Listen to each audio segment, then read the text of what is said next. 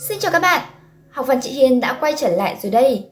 Ngày hôm nay, chúng mình sẽ cùng nhau đi tìm hiểu về một số vần trong tiếng Việt nhé. Các bạn đã sẵn sàng chưa? Chúng ta cùng bắt đầu thôi nào. Đầu tiên, chị có chữ A khi ghép với chữ N, chúng mình sẽ được vần an an. Vần an. Đối với vần an, chúng ta có ví dụ bạn, nhãn. Chữ Á khi kết hợp với chữ nò, chúng mình sẽ đánh vần là Á nò ăn. Vần ăn. Đối với vần ăn, chúng ta có các ví dụ chăn, khăn. Ớ khi kết hợp với nò sẽ được đánh vần là ớ nò ân. Vần ân.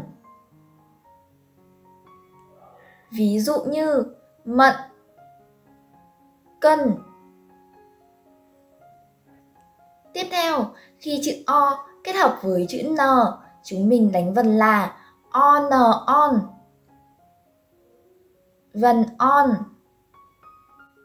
Vần on có các ví dụ như nón, mẹ con. Khi kết hợp với N sẽ được đánh vần là on on Vần on Vần này có các ví dụ như thôn, trồn. Chữ ơ khi kết hợp với chữ n sẽ được đánh vần là ơn ơn. Ta được vần ơn. Vần ơn có ví dụ là sơn, lợn. Tiếp theo, chị có chữ E khi kết hợp với chữ N, chúng mình sẽ đánh vần là ENN. Ta được vần N. Ví dụ như đèn, sen. E khi kết hợp với N sẽ được đánh vần là ENN. Ta được vần N.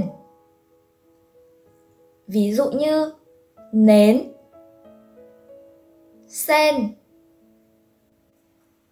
Chỉ có chữ Y khi kết hợp với chữ N, chúng mình sẽ đánh vần là IN in. Ta được vần in. Ví dụ như đèn pin. 9. Cuối cùng chị có chữ U khi kết hợp với chữ N, chúng mình sẽ đánh vần là UN un. Vần un. Đối với vần un, chị có ví dụ như sau. Cún Chú lùn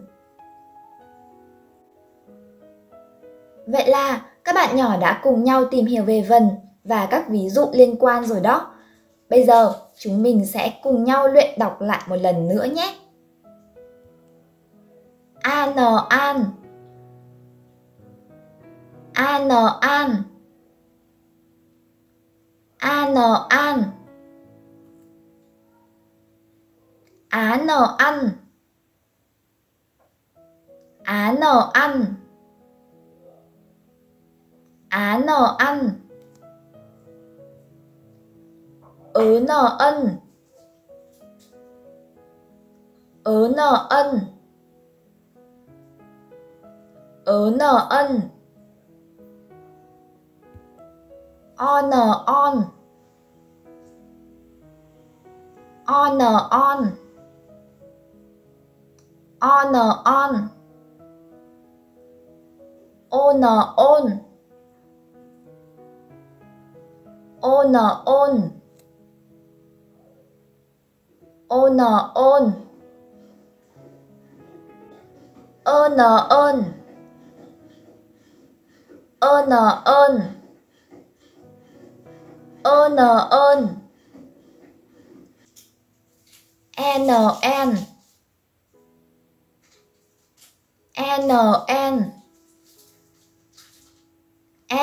n N N. N N. N N. In in In in In in Un un Un. Un Un un Vậy là bài học ngày hôm nay của chúng mình đến đây là kết thúc rồi. Các bạn đừng quên hãy ôn lại thật kỹ các vần đã học ngày hôm nay nha. Còn bây giờ, xin chào và hẹn gặp lại!